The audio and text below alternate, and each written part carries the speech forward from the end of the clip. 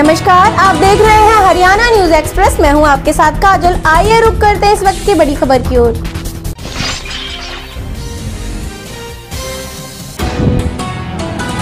Roadways कर्मचारियों ने अपनी मांगों को लेकर आज फिर विरोध प्रदर्शन किया। बस अड्डा परिसर में सरकार के खिलाफ नारेबाजी की गई। तालमेल कमेटी के आह्वान पर मांगों को लेकर विरोध प्रदर्शन किया। मांगे पूरी न होने पर आंदोलन की चेतावनी दी। यूनियन नेताओं ने कहा कि वे अपनी मांगों को लेकर लंबे समय से संघर्ष कर रहे हैं।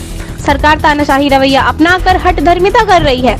यूनियन नेताओं से सरकार की हुई बात का कोई नतीजा नहीं निकल रहा है। रोडवेज़ के बेड़े में अभी तक दस हज़ार बसें नहीं आई हैं और ना ही नई भर्ती हुई हैं। पहले से लगे कच्चे कर्मचारियों को पक्का नहीं किया जा रहा है। सरकार निजीकरण को बढ़ावा दे रही है। रेवाड़ी से हमारे संवाददाता राजकुमार की रिपोर्ट।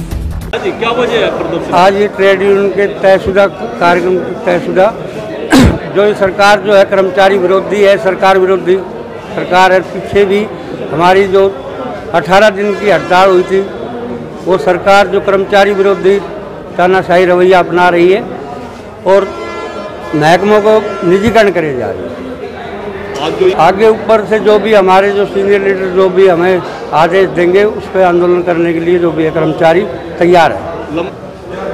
सरकार अपने हट धर्मता पर आई हुई है और हमारी पीछे भी टेबल पे मीटिंग हुई थी उसकी भी सरकार ने कोई बात नहीं मानी अभी तक। और आगे जो है कर्मचारी जो है आंदोलन करने के लिए बिल्कुल तैयार है। अभी बेड़े में अभी दस हज़ार बसें देने की जो बात हुई थी वो भी सरकार ने नहीं दी है और जो किलोमीटर स्कीम की बसें हैं उनको और बढ़ावा दे रही है सरकार। और ना कोई रोडवेज़ में वर्कशॉप में कोई नई भर्ती हुई अभी तक। जगदीश है जी। जगदीश क्या कहेंगे जो आज प्रदर्शन किया आप लोगों ने? प्रदर्शन है जी ये अपने ना तो ये भर्ती कर रहे ना बसें ला रहे। हैं डिपार्टमेंट का बेड़ा गर्क कर दिया कोई सुनाई हो नहीं रही। हमारा काम है भाई बसें लाओ भर्तियाँ करो ताकि अपने हरियाणा के अंदर बेरोजगारी खत्म हो। आज 2016 का मैटर है जी आज लोग उनकी कोई खूब क्या सुनाई कर ली कोई सुनाई नहीं है भर्ती कर रखी उनको पक्का किया जाए और बसें भी ले आई जाए।